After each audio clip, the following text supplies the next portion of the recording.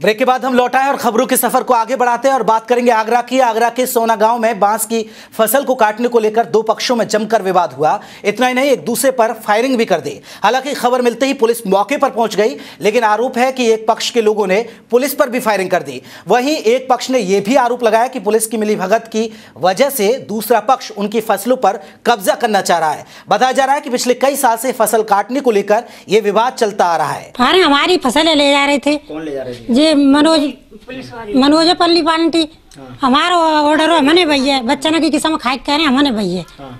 और वो ज़बरदस्ती अधिकारी ने की औरत है और पैसा की ज़रूरत ले जा रहे कोर्ट में रहा है इसका जो? है? कोर्ट में इलाहाबाद तक चल रहा है। कब से चल रहा है ये मामला पंद्रह साल है। हाँ।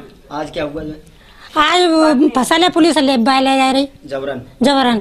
अच्छा। कोई ऑर्डर ना कोई आदेश ना है कोई बुना है। कोई फायरिंग वायरिंग पुलिस की तरफ़ से है? पुलिस की तरफ़ से ना भाई।